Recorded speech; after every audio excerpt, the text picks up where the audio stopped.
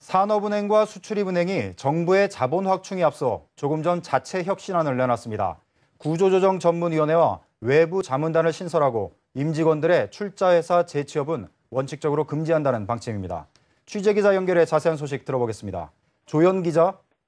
네, 다음 달 국책은행 자본 확충을 앞두고 정부의 고통 분담 요구에 따라 산업은행과 수출입은행 두 국책은행이 새 신안을 내놓았습니다.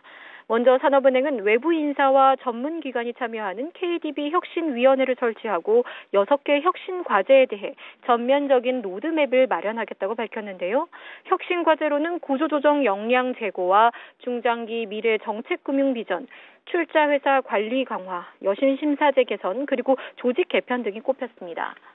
최근 감사원 감사에서 지적받은 구조조정 기업에 대한 방만 경영의, 경영과 관련해 사내는 외부 인력으로 구성된 기업 구조조정 지원 특별 자문단을 신설하겠다고 밝혔습니다. 또 산업 분석을 담당하는 기업조사부를 확대 개편해 정책금융의 싱크탱크로 역할을 강화하겠다는 방침입니다.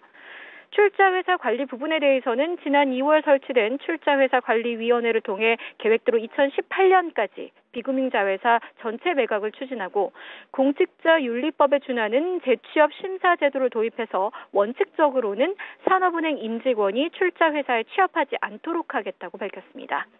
대기업과 특정 산업에 편중되어 있는 여신 익스포저 역시 완화해서 경기 변동에 민감한 사는의 자산 포트폴리오를 개선하고 미래 신성장 동력의 지원을 강화할 계획입니다.